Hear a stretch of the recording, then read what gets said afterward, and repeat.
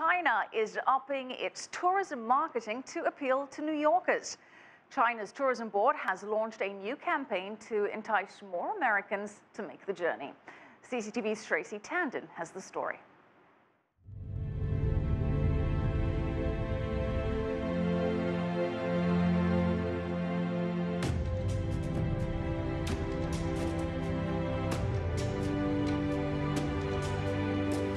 Visit Beijing, a travel documentary produced by Beijing's municipal government that aired on local TV here in New York.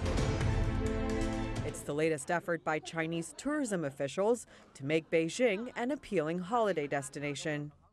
In a 2013 tourism competitiveness report compiled by the World Economic Forum, China ranked 45th among 140 countries.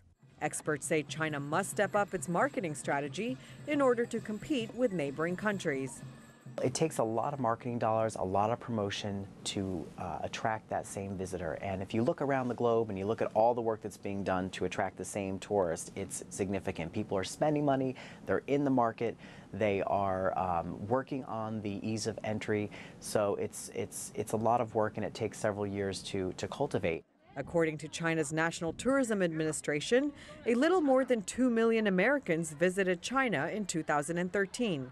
Research firm Euromonitor says factors such as air pollution, crowded hotels, and a stronger currency have diminished China's attractiveness as a tourist hotspot. Recent changes to travel visas between the U.S. and China, including extended validity from one year to 10 years, are expected to lure more Americans to Beijing but distance will always be an issue. I think the long haul flights probably do come into consideration uh, when Americans are looking to travel. They may be looking at a convenient destination that they can get to, get on a beach in a few hours, uh, go to an exotic destination. Some of the urban areas that are very, very far away, they may think twice about. With initiatives like the documentary Visit Beijing and extensions to travel visas, China is hoping it's enough to lure Americans out of the Big Apple and into the Forbidden City. Shraysi Tandon, CCTV, New York.